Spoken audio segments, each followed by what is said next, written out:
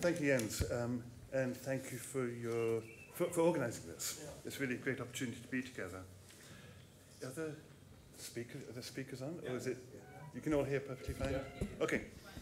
Um, I spend most of my time in the first, second, third century. Occasionally, I come into the 20th century. I started off there many, many years ago doing philosophy, but then I regressed backwards to the second century. I managed to make it to about the 6th century, but then started working backwards again. Uh, my wife thought I was becoming up to date by the time I got to the 6th, 7th century, but seeing she works in a Gothic novel, it's all really relative. Um, so the question really is what, what can people from the 1st, 2nd, 3rd century say to us today about questions regarding uh, post-humanism and transhumanism? And I would argue actually a surprising amount. For they too are concerned with what is it to be a human being? And interestingly, it is always what is it to be a human being, not what is it to be a person. It's a very different language. And they're doing so in a very different context. So perhaps, in fact, they alone can challenge our own unseen presuppositions within which we automatically think. So what I'm going to do today is to speak directly from these sources, directly both theologically and unapologetically, speaking in their language, but although it's in a very different idiom than the two talks you've heard this morning, there are, of course, many, many points of contact, and we'll see them as we go through what I want to present to you. I have a sheet here. I always, um, always have the motto in mind that if I give a sheet out rather than putting something on the board, at least you have something to take home with you. Yeah? And it gives you something to write notes on and so on. Okay. So one of the burning issues for us today, and perhaps even the defining issue for our era, is what is it to be human? And also, although we haven't had that addressed today, what is it to be a sexed and sexual human uh, being? How does being sexed and sexual relate to our common humanity? And then again, in this, what is the role of death? What is the place of death in all of this? Now, the relationship between these two poles, being sexed or sexual on the one hand, and being human, is also inscribed within Scripture in a manner that seems to set the two opposed to each other, at odds with each other. For while in the opening verses of Genesis, it affirms that God created the human being in his image, male and female, he created them. At the end of Scripture, the apostle asserts that in Christ, not only is there neither Jew nor Greek, neither slave nor free, but also there's neither male and female, for all are one in Christ Jesus. So the two ends of the arc that run from Adam to Christ from being in Adam, to use a biblical language, to being in Christ, define the movement of our existence from the moment that we enter into the world to being born into life in Christ. And as such, they really form the framework within which theology seeks to understand both what it is to be human and the role that sexuality and, as we'll see, death play within this. Now, we often theologize with already formed categories what it is to be human, what it is to be God, human nature, divine nature.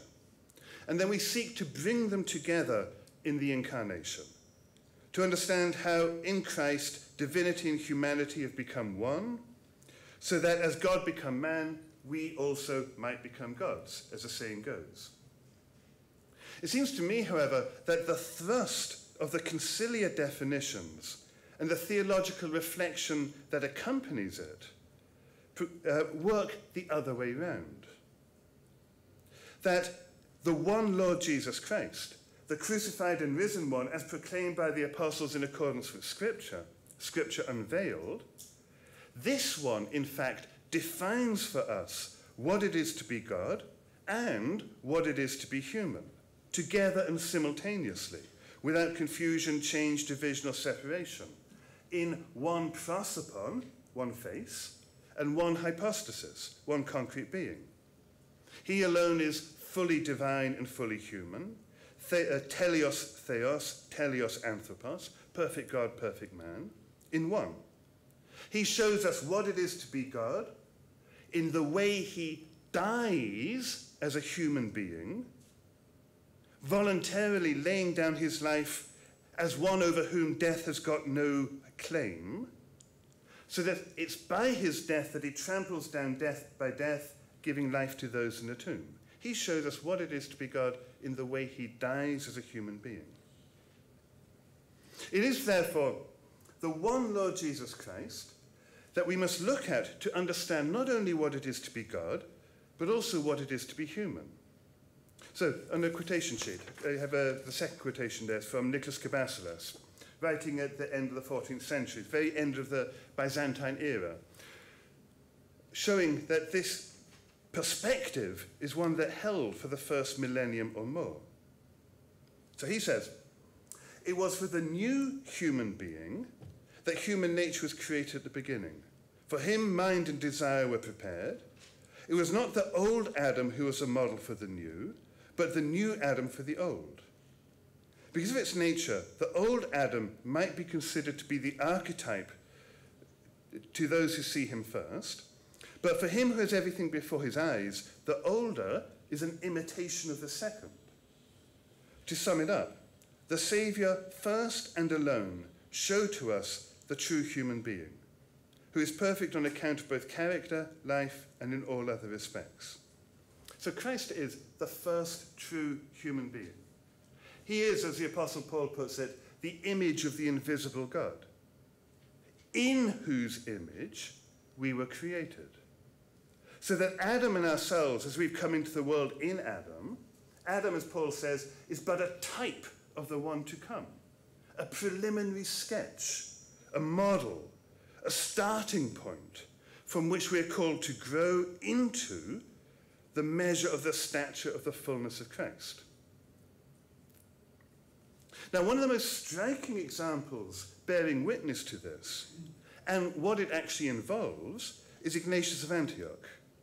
At the beginning of the second century, he's on his way to Rome to be martyred in Rome, and he writes a letter to the Christians in Rome urging them not to impede his coming martyrdom. So look what he says. It's the next quotation on your sheet. He says, Birth pangs are upon me. Allow me, my brethren, hinder me not from living. Do not wish me to die. Grant me to receive the pure light. When I shall have arrived there, I will be a human being. Allow me to follow the example of the passion of my God.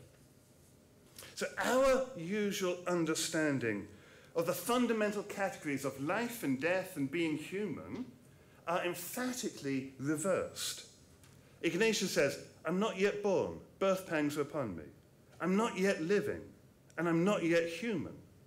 Only in martyrdom, in imitation of Christ, will he be born into life as a human being. Now, in this light, we could spend a lot of time reflecting on what's involved in that, uh, but I want to go further than that. In this light, we can see a new dimension in the opening verses of Scripture, going back to the poem in the beginning of Genesis 1. Having spoken everything into existence, let there be, let there be, let there be, it is, it's good, it's done, everything's good, end of the day. God then announces his own particular project.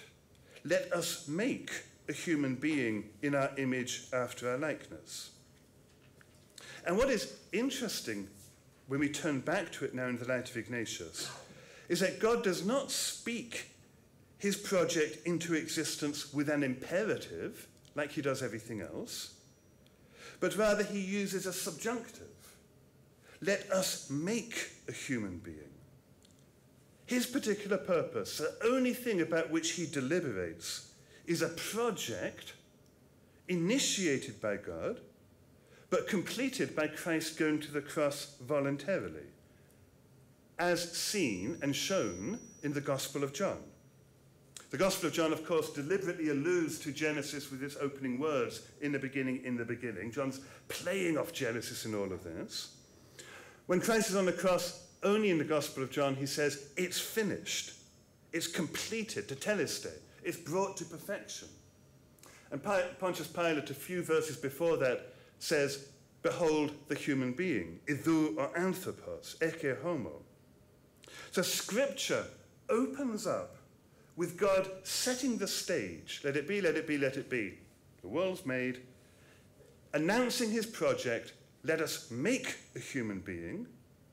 And then scripture concludes with tetelestai. It's finished, it's brought to perfection. Here, alone, finally, for the first time, is a human being. And so it's by giving his own fiat, let it be, that Ignatius, in turn, following Christ, sees his martyrdom as a birth into life as a human being.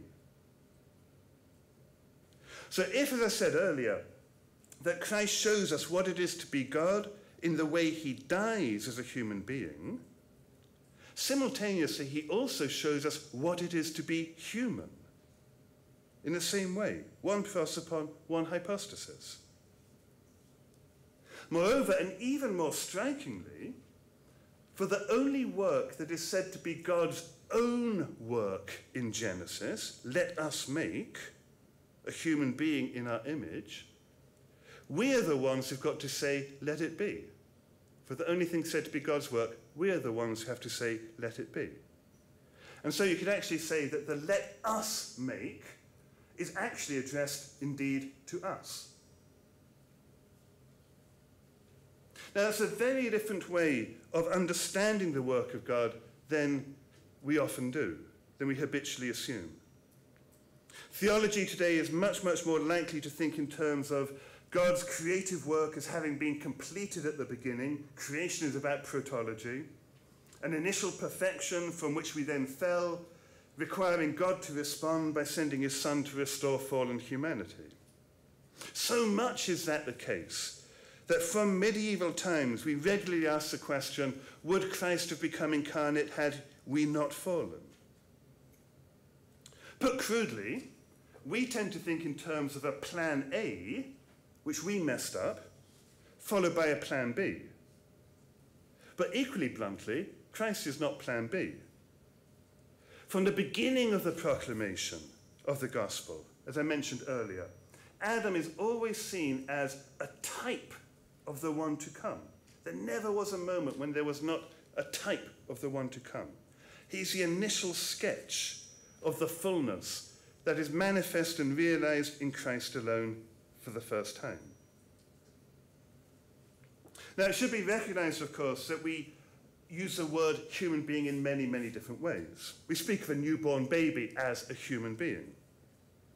But if by a human being we mean, as we often do, someone who can walk and talk. Well, the newborn baby cannot yet do that.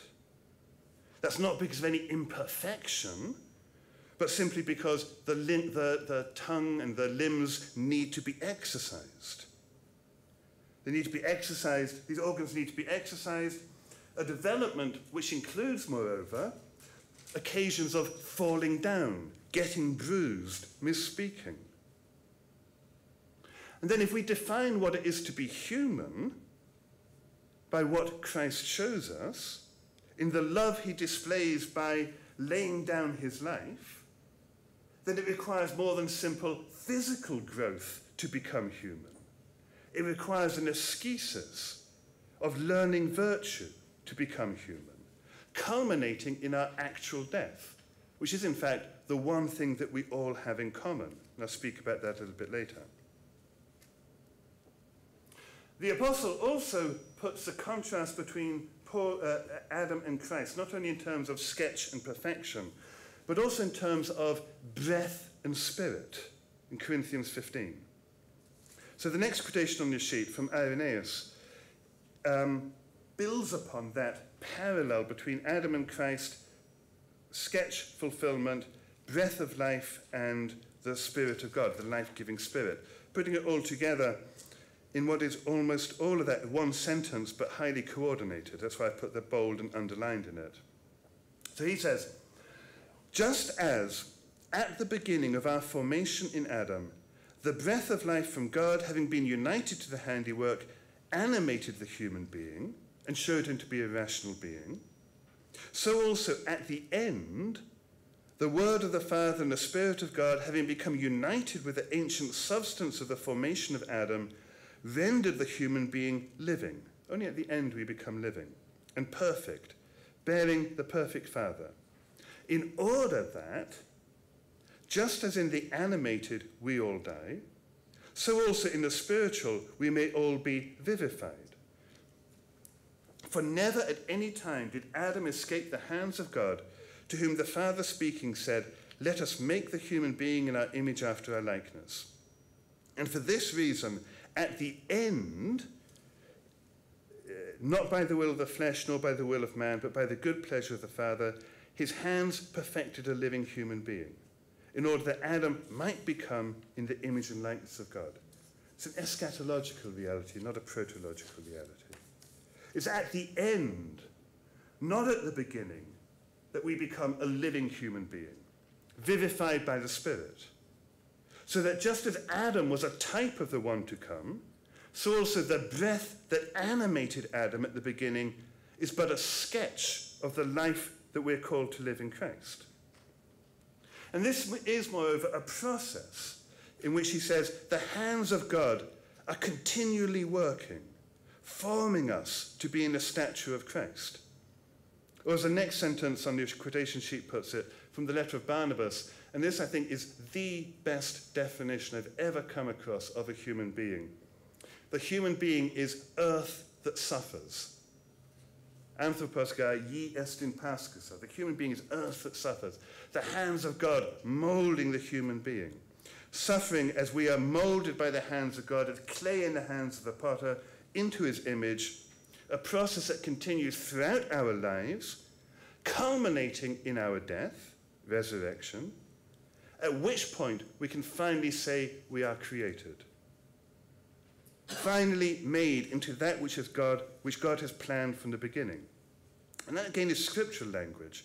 Look at the next quotation from Psalm 103, 104. It says, When you take away their breath, they die, return to the dust.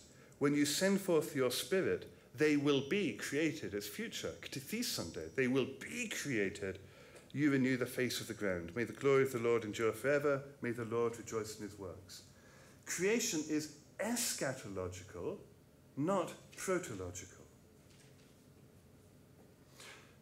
Now, the decisive step in this direction from Adam to Christ occurs when we voluntarily embrace the cross and our own death in Christ, which in Christian terms is played out in the sacrament of baptism.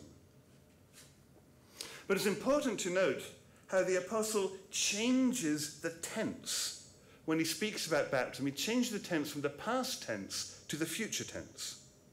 In Romans 6, he says, If we have been united with him in a death like him, past tense, we shall be, future tense, um, united with him in a resurrection like him, like his. Our sacramental death in baptism is once for all and in the past. But his point is that until we are actually dead in the ground as clay, the resurrection lies in the future. And so he concludes, therefore, consider yourself dead to sin and alive to God in Christ Jesus. You can put it this way you can say, until that point, we are stuck in the first person singular. We're only able to say to myself, didn't I die well to myself today? It's still me who's doing it. With all the inevitable paradoxes that flow from that ambiguity. But when, on the other hand, I am actually dead, placed in the ground to become earth, then I stop working and God can finally create. Yeah? Earth is our end, not our beginning, but an end which becomes our beginning. So by following this line of thinking, Ignatius, Irenaeus, and then the writers who follow them in their footsteps, we can see our, they don't use the language, but our fall into apostasy, into sin, into death, as being inscribed within the single economy of God, starting from Christ and culminating in Christ, the Alpha and the Omega of all things. The whole economy, from the beginning to the end, turns upon and is shaped by him and his passion. Because it's only in the light of the cross that scripture is opened up so we can see how from the beginning to the end it speaks about him. That we can read the narrative of the ark that leads from Adam to Christ. And as that's so, we can see that his death destroys death, not by obliterating it, but by turning it inside out. Or as Maximus puts it, Christ changes the use of death. So that instead of being the end, it in fact becomes the beginning. Now, to put that, all of that in other language, well, other words, slightly different words, we could say that we come into existence in Adam.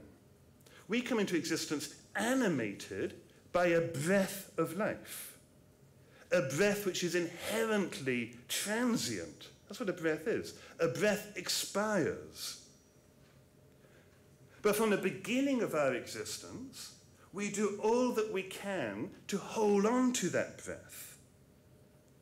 But no matter how well we live or whatever we do, the breath will expire.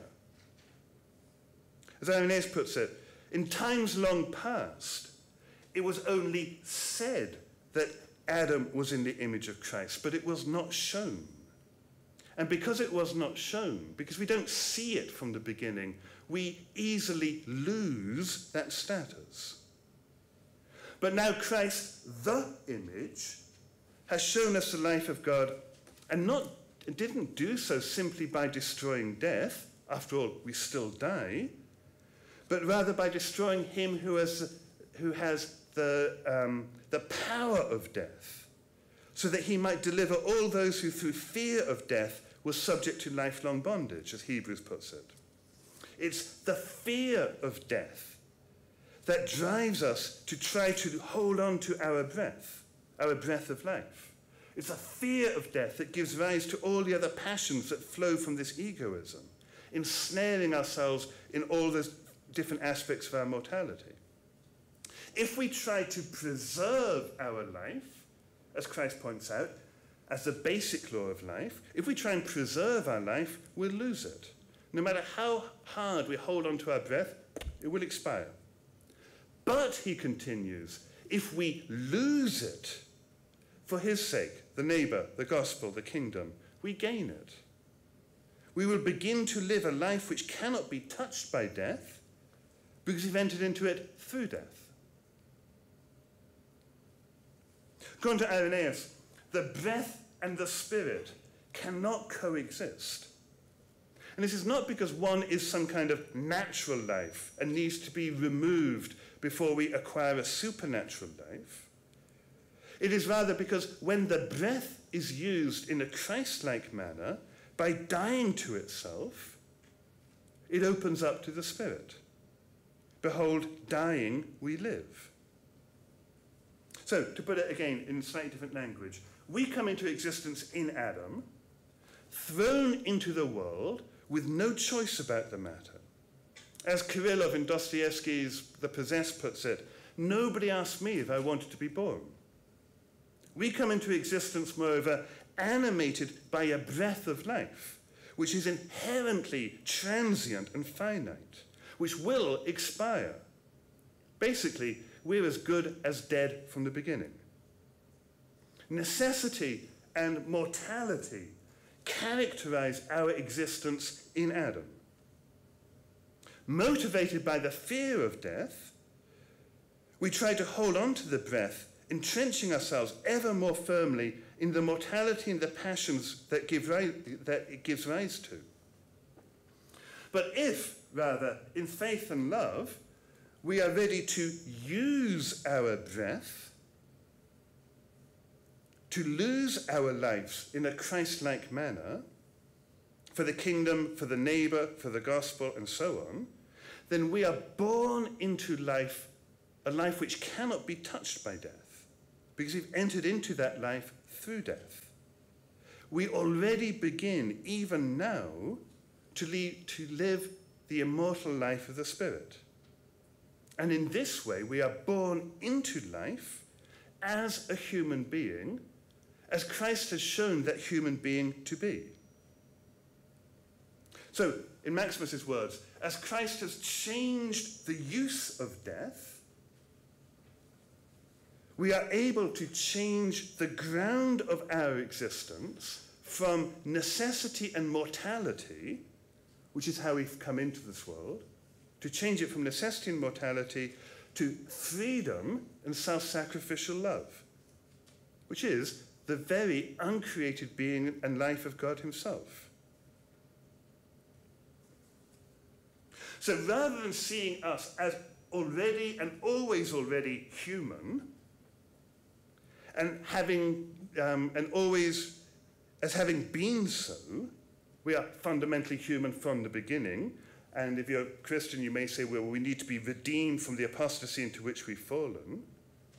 What we see in these early figures like Irenaeus and Ignatius, and it continues thereafter, is seeing thing, all things in the light of Christ, such that there is one single economy, which is both creative and salvific, leading us from the sketch to the reality, from the breath to the spirit, from Adam to Christ, and doing so by sharing in the death of Christ to finally become a living human being at the end. And that's the living human being that Irenaeus says is the glory of God. The living human being is the glory of God, and he means the martyr. So, I've spent a lot of time talking on that. I've written much about all of that. Now, what I'm reflecting on further in the light of that is that if this is so, if we are yet to become human, what are the implications of this for understanding ourselves as male and female? Because it's striking that if God's project is to create a human being in his image and likeness, and we've seen that's eschatological, what he in fact does is make males and females. Yeah? So if you look at the next quotation on your sheet, uh, well, the, sorry, the, the one after, Genesis 1 27 28.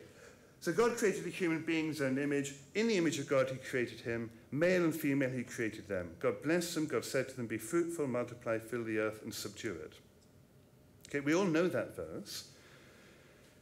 But there's more to it, I think, than we initially think.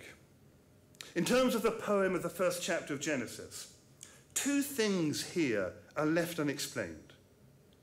If you just simply read from Genesis 1 onwards, there are two things here which are not explained. Firstly, what is it to be in the image? And secondly, what is it to be male and female? Now, we tend to link the word male and female to the blessing to be fruitful, multiply, fill the earth, and so on. Yet this same blessing is bestowed upon the other animals in Genesis 1:22, but they are not said to be male or female. Only in Genesis 6:19 do they finally say with, with, Noah's ark, do they actually call them male and female. Okay? Just in terms of Genesis 1, they're not said to be male or female. So maybe there's more in being male and female than simply being able to be fruitful and multiply. Regarding the term image, it's often said that the purpose of Genesis 1 26, uh, 27 28 is to, as it were, democratize the, the status of being in the image. Something that in the ancient Near East was a prerogative of the king, so now it belongs to all human beings to have dominion over the earth. But again, that's not actually said in the scriptural text, either here or elsewhere. Reading the text in the light of Christ, as we've done above, we may well make a distinction between the image, who is Christ, Colossians 1:15, he is the image of the invisible God, and human beings who are made in the image. Okay? And that's a fairly standard way of reading the text from the beginning. But there's also another way of doing it, and that is to note that in the second and third verses of Genesis 1:27, second and third uh, clauses, image and male and female are placed in parallel. So God created a human being. In the image, created him. Male and female, he created them. So is there something then between the parallel between those two clauses? Now, I do not mean to suggest at all that there's anything in God corresponding to male and female. Rather, what I would do is to suggest that if God's project is to make a human being in his image, and as we've seen above, uh, as, we, as we saw the fullness of that above, the, the human being being one who lays down their life in love for another, and his way of setting about this project is to make males and females, then I think one can argue that our existence as sex and sexual beings turns out to be the horizon on which we learn to become human. It's important to note that when the apostle asserts that Christ is the image of the invisible God, Colossians 1:15, it's specifically in the context of hymning the, the one who makes peace by the blood of his cross. It's a, it's a hymn on the crucifixion. It is, as we saw above, in laying down his life that Christ shows us what it is to be God and what it is to be human. So our existence as males and females is in fact the horizon, at least for a large number of people, we can get further, I might get further things later on. It's a horizon on which we learn through the power of erotic attraction to lay down our lives for another. Through the erotic drive, deeply implanted in us by God, we are drawn out of ourselves to die to ourselves and live our lives in virtue of another. So as Dionysius put it in the quotation just above the one from Genesis 1, 26, 27, the divine eros brings ecstasy so that the lover belongs not to self but to the beloved. This existence of uh, males and females is the horizon in which, quite literally, we become humanized. A similar point can be made about Genesis 2. After creating Adam from the dust of the earth, animating him by a breath of life, placing him in the garden to work, God then observes, it's not good for man to be alone. There's, there's a quotation there, Genesis 2.18, U kalon ine anthropon monon. And we're going to come back to that later in a very different way of reading it. We, we, we typically translate it's not good for man to be alone. And so God determines to make a helper fit and meet for him, equal to him. But think about it. What does God then do? Before he actually makes Eve, he actually introduces all the animals to Adam. He leaves all the animals to Adam. By the time you get to verse 20 of chapter 2, it's said that, but for the man, there was not found a helper fit for him. It's expressed in the passive, but for the man there was not found a helper. Well, who found that? It's not really clear from the, from the verse itself. So there are only two possibilities God or Adam. Now, if it's God, then you have to ask, why did he introduce all the animals to Adam? It's not good for an animal, for, for man to be alone. Is he really working by trial and error? You know, here, try a giraffe. No, it doesn't work. Here, try a butterfly. No, doesn't work. No. Almost certainly it's not meant to be that way. It's not God working by trial and error. It's much, much more likely Adam. After all, after Adam is put to sleep and the rib taken from his side, built into a woman and led to the man, Adam then exclaims, Here at last is bone of my bone. So in verse 18, it's God who realizes it's not good for man to be alone, but Adam needs to come to this realization. And it's by bringing all the animals to Adam that God awakens this realization, that God instructs him. It's pedagogy. So Adam then finally says, Where's mine? Yeah? And then finally gets his.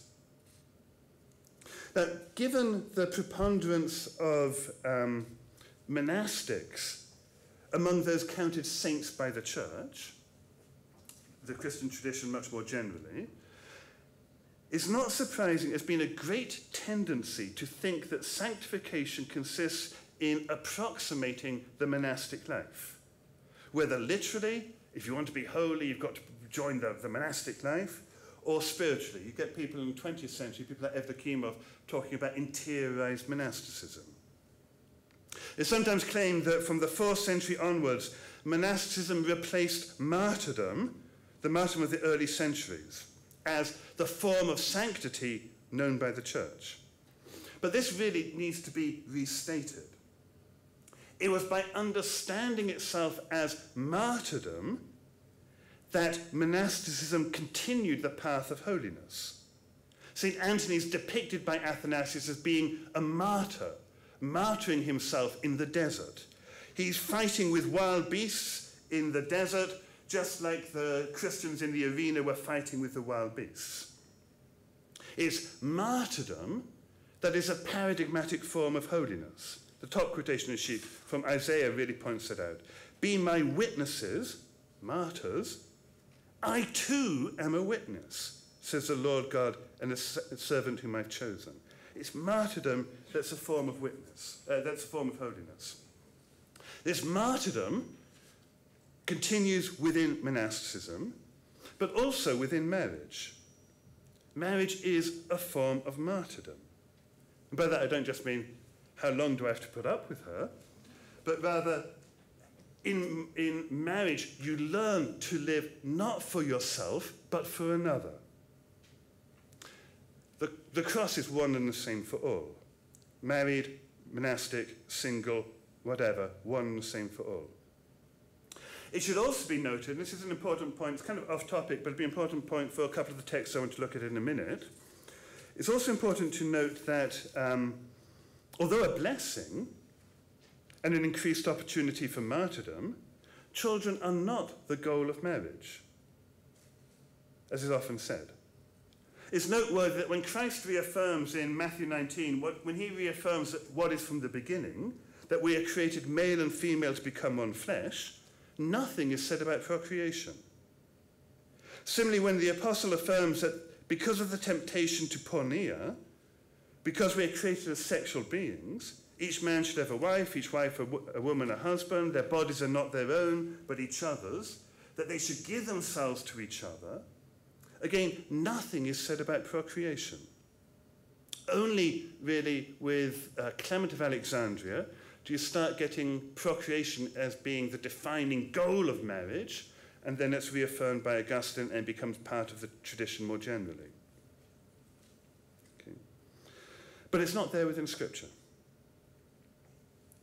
So marriage, I would argue, is not primarily at least, or uh, uh at least about or defined by procreation, legitimizing sexual activity or providing a safe space for its exercise. Neither is marriage about preserving traditional values, it's not about the self preservation of the nuclear family. It subverts and sublimates these. It provides a horizon for achieving the fullness of the stature of being human that Christ has shown by the way of the cross. Sexuality embodies this erotic drive towards transcendence, transforming those who love with the martyric love shown by Christ into another state neither male nor female, but human. So let's look at a couple of texts, um, from St. Maximus especially. There, there, a couple of really key texts, one by Gregory of Nyssa on the making of man, which is too long for us to do today, and then the other one is Maximus' Ambiguum 41. And they talk about this relationship between being male and female and being human in really, really intriguing ways. But I think they've always been misinterpreted because they've always, they, they haven't yet, the interpretations have not yet worked with the understanding of becoming human as the eschatological goal rather than a protological beginning. So Maximus Ambiguum 41. It's one of the most quoted, most referred to texts of, Ma of Maximus, but very rarely discussed in any detail, despite the fact it's only five pages long. He presents a full cosmological vision based upon the reconciling work of Christ, in which there are five fundamental divisions or differences in creation, that the human being is given the vocation of uniting and bringing into union with God. And that while we've not been able to do that, Christ does it enables us in him or him in us to do so. The five divisions, he says, within, uh, within all of reality are firstly between the uncreated and the created, secondly, between the intelligible world and the sensible world, third, between heaven and earth, fourth, between paradise and the inhabited world. So it's kind of a, a, a branch tree that he's describing here. And then fifth is a human being. So the first quotation from Maximus, A, uh, at the bottom of page one, he says, The fifth is that according to which the human being, if you see three lines down, I've got a, a, a dash after human being and then a dash after Genesis. Those three lines are all between the article o, the, and anthropos. Yeah, he's got really, really bad Greek. Okay, it's really dense and all, all over the place. Um, so you have to read it, you know, the, the fifth is that according to which the dot, dot, dot, dot, human being is divided, but you can't do that in English. According to which the human being, who is above all like a most capacious workshop, containing all things and naturally mediating through itself all the divided extremities, having been placed beneficially amidst beings according to Genesis, is divided into male and female. Manifestly possessing by nature the full potential to draw all the extremities into union through their means, by virtue of its characteristic attribute of being related to the divided extremities through their own parts.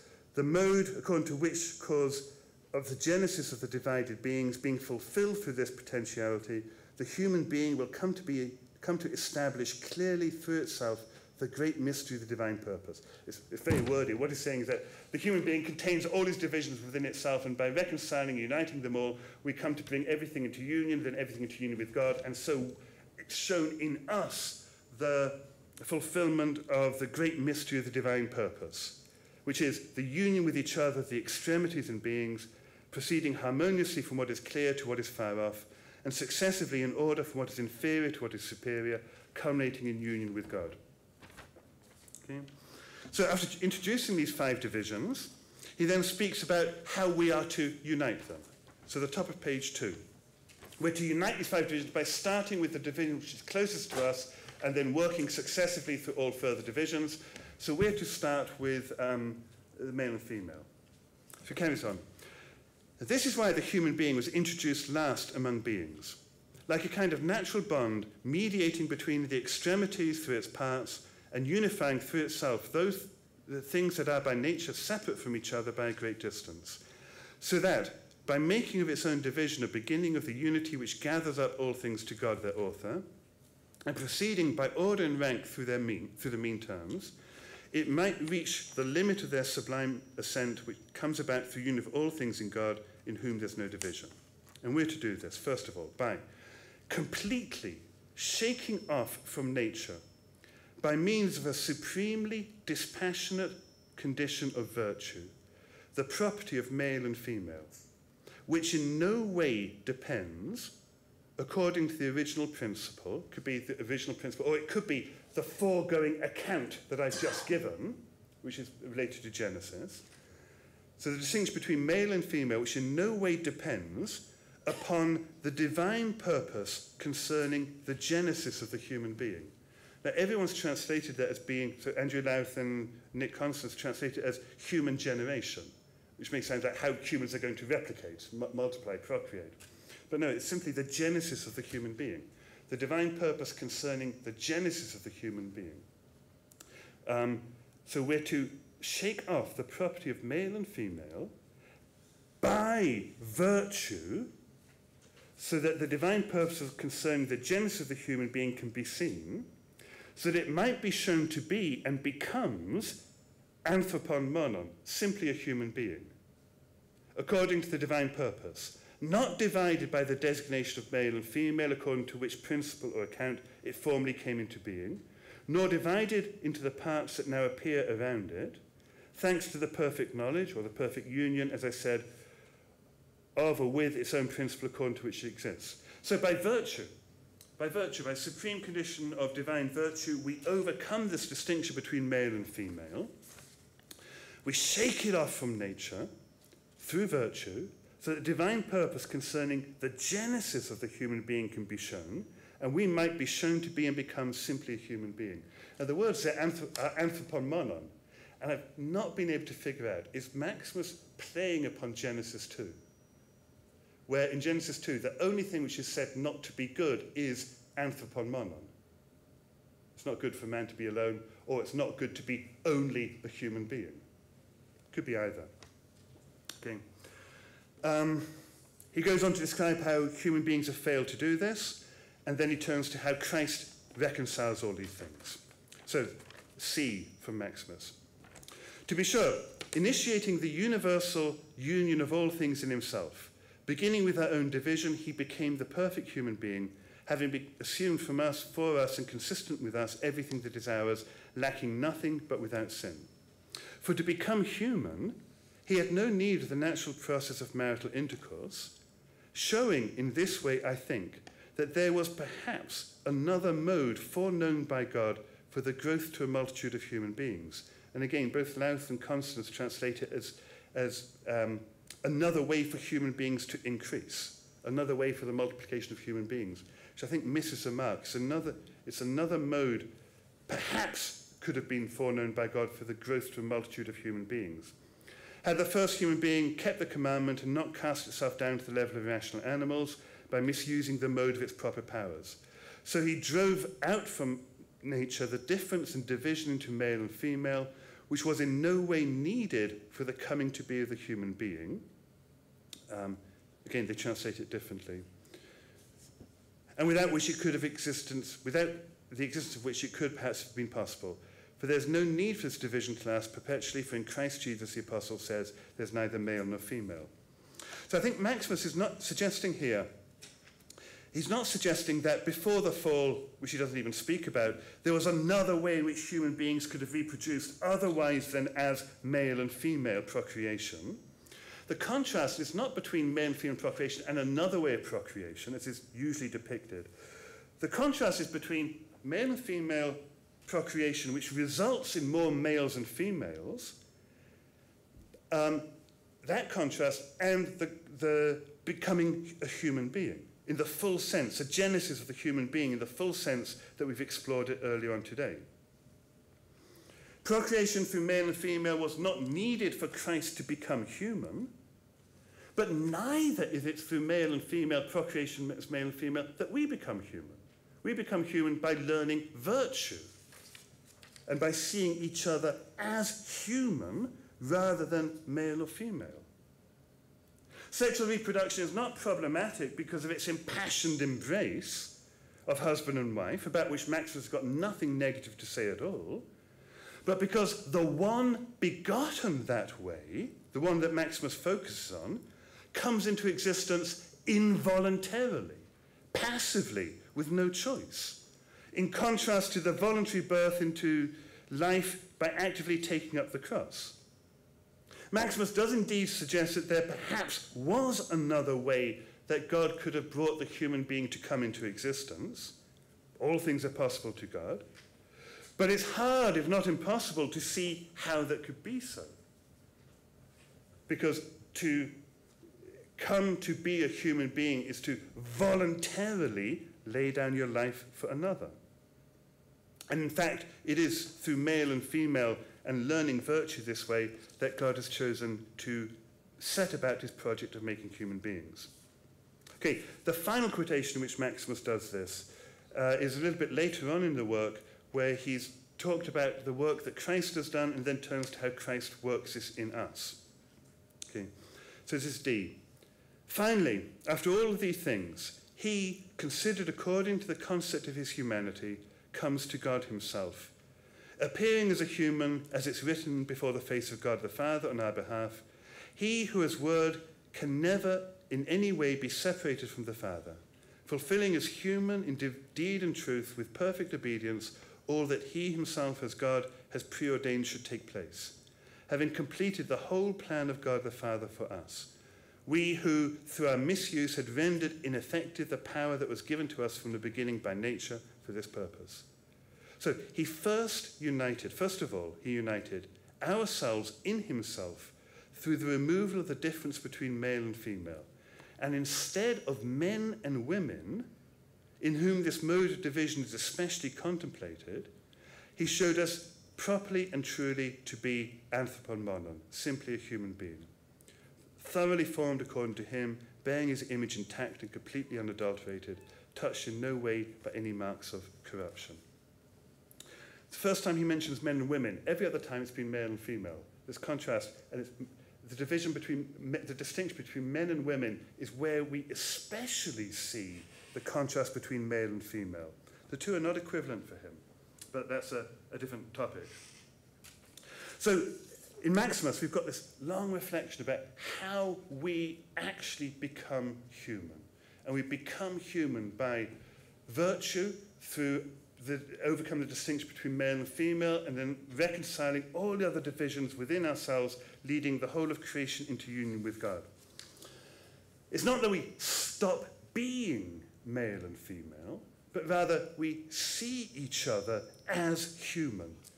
One could really say that to the extent that we identify ourselves by our sexuality, whether male or female or anywhere in between, we are doing so in Adam, not in Christ. We're not human, we're merely in Adam. So, to wrap up, what it is to be human, and the place and role of existence as male and female within this, and indeed, really, the question of death, are the burning issues of our epoch.